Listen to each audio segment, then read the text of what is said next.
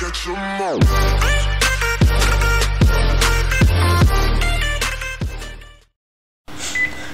Hello viewers welcome to easy learning easy লার্নিংয়ে আপনাদের সবাইকে স্বাগত। আশা করি সবাই ভালো আছে আমরা গত পর্বে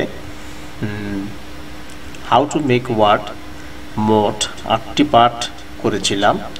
এখন আজকে আমরা শিখব পার্ট নাইন ভিউয়ার্স আমি একটি কথা বলে নিই, যেটা না বললেই নয়।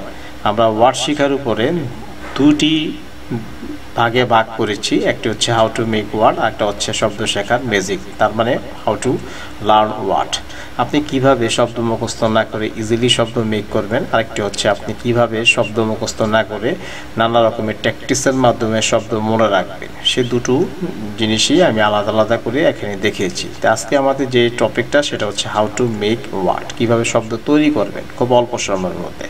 তাহলে ভিউয়ার্স লেটস স্টার্ট আমরা এখানে একটি প্রিফিক্স দেখতে পাচ্ছি, সেটা হচ্ছে ইএন অথবা ইএন আমরা সব অর্থগুলো ইএন ব্যবহার করি, তৈরি করেছি। আমি আপনাদেরকে মোট চৌদ্দটি রুট ওয়ার্ড দেখাবো, এবং এই চৌদ্দটি রুট ওয়ার্ডের আগে এই প্রিফিক্স ইএন যুক্ত করে কীভাবে আপনি মোট আঠাশটি ওয়ার্ড তৈরি করবেন, সেই ট্যাকটিক্সগুলো আমি আপনাদের দেখাবো।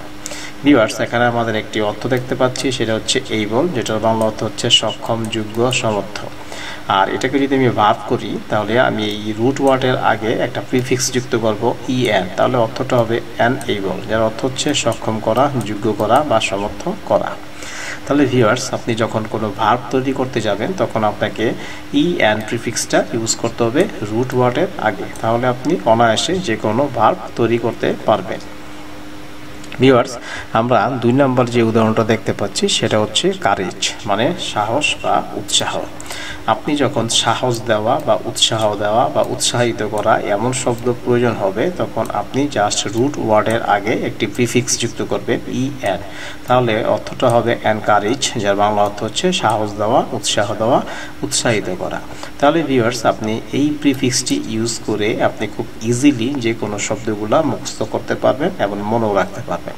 আপনি জাস্ট দুটো রুট ওয়ার্ড মনে রাখুন, আর বাকি দু বাকি দুটি সাবসিডারি ওয়ার্ড এইভাবেই তৈরি হয়ে যাবে।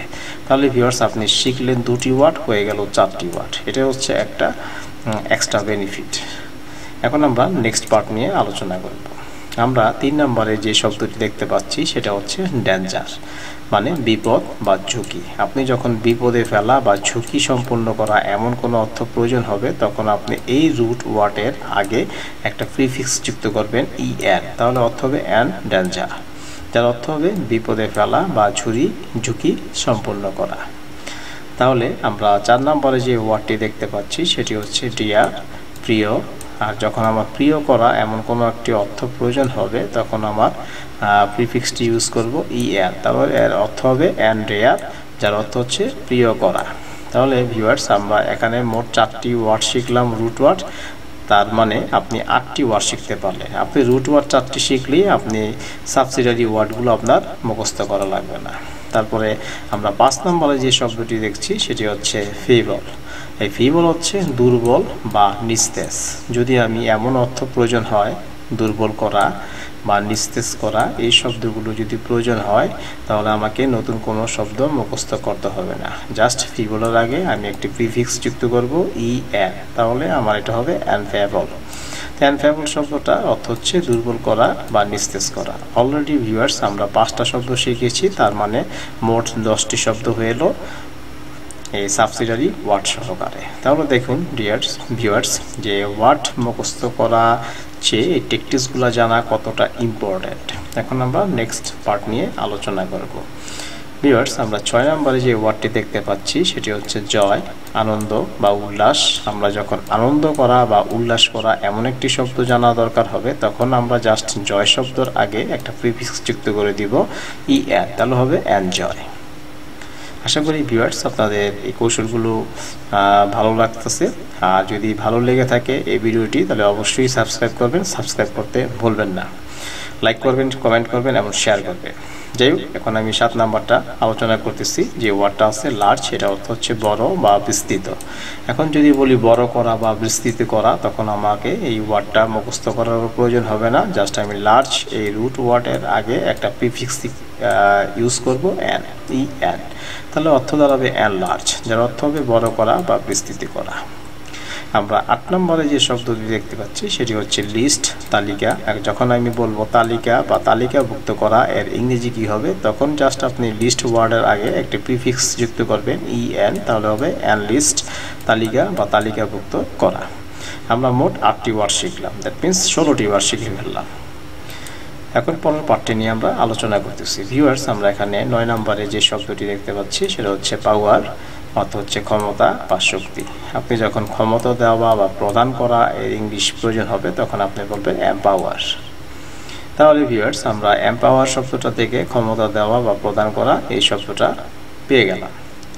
এখন আপনাদের দশ নম্বরে যে ওয়ার্ডটা দেখতে পাচ্ছি, সেটা হচ্ছে রেজ যার অর্থ হচ্ছে রাগ বা ক্রোধ। এই রেজ যখন আপনি লাগানো বা ক্রুদ্ধ করা শব্দ প্রয়োজন হবে, তখন আপনি রেজ শব্দের আগে ই অ্যান্ড প্রিফিক্স ইউজ করবেন, তখন হবে অ্যান্ড রেজ লাগানো বা ক্রুদ্ধ করা।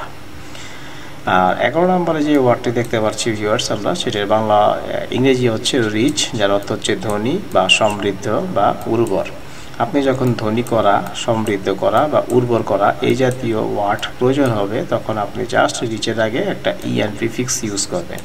তাহলে অ্যানরিচ হবে। অ্যানরিচ মানে ধনী বা সমৃদ্ধ বা উর্বর করা। তাহলে ভিউয়ার্স দেখুন, মাত্র একটি রুট জানলে বাকি প্রিফিক্সটা ইউজ করে আপনি ইজিলি আরেকটি নতুন ওয়ার্ড তৈরি করতে পারতেছেন। কিন্তু আমাদের স্টুডেন্টরা আমাদের বিভিন্ন ছোট ছোট ভাই বোয়ের ভাইয়েরা, ছোট ছোট বোনরা হ্যাঁ তারা সিস্টেম মতন ওয়ার্ড শিখতেছেন না। এটা কিন্তু একটা রং ওয়ে সো আপনাকে ফলো করতে হবে আসল টেকটিক্সটা আর তাদের জন্যই আমাদের ইজি লার্নিংয়ের এই প্রচেষ্টা এখন আমরা সর্বশেষ পার্টটি নিয়ে আলোচনা করব। আমরা যে শব্দটি দেখতে পাচ্ছি নাম্বার টুয়েলভ সেটা হচ্ছে রুল তালিকা। যখন আমি বলব তালিকাভুক্ত করা, তখন এটা হবে অ্যান্ড রুল আমরা ইতিমধ্যে তালিকা নিয়ে একটি আরেকটি ক্লাস দেখেছিলাম লিস্ট অ্যান্ড লিস্টেড তারপরে আমরা তেরো নম্বরে যখন দেখতেছি ওয়ার্ড যেটা হচ্ছে শিওর নিশ্চিত বা নিরাপদ, আমরা যখন বলব নিশ্চিত করবা বা নিরাপদ করা, তখন আমরা বলব অ্যানশিওর এবং সর্বশেষ যে উদাহরণটি আমরা দেখতে পাচ্ছি, সেটা হচ্ছে ট্রাস্ট যার অর্থ হচ্ছে বিশ্বাস বা ভরসা বা আস্থা। যখন আমাদের এমন অর্থ প্রয়োজন হবে, বিশ্বাস করা বা ভরসা করা বা আস্থা করা, তখন আপনি কীভাবে এই শব্দটি তৈরি করবেন? জাস্ট আপনি ট্রাস্ট রুট ওয়ার্ডটির আগে একটি প্রিফিক্স বসিয়ে দিবেন ই অ্যান তাহলে হবে অ্যান্ড ট্রাস্ট যার অর্থ হচ্ছে বিশ্বাস করা অথবা ভরসা করা। অথবা আস্থা করা। তাহলে ভিউয়ার্স আশা করি আপনি এই চোদ্দোটি রুট ওয়ার্ড থেকে আরও চোদ্দোটি সাবসিডারি ওয়ার্ড দ্যাট মিনস আঠাশটি ওয়ার্ড খুব ইজিলি শিখতে পারছেন। ভিউয়ার্স আপনি ইংরেজি ভালো জানার জন্য অবশ্যই আপনাকে শব্দের ভাণ্ডার বাড়াতে হবে। আর শব্দ ভান্ডার বাড়াতে হলে অবশ্যই আপনাকে ইজি লার্নিংয়ে চোখ রাখতে হবে। ইজি লার্নিং বর্তমানে দুটি সাইট নিয়ে কাজ করছে। একটা হচ্ছে হাউ টু মেক ওয়ার্ড কীভাবে শব্দ তৈরি করবেন একটা হচ্ছে হাউ টু লার্ন ওয়ার্ড কীভাবে শব্দ শিখবেন। দুটাই আলাদা আলাদা করে দেখানো হয়েছে।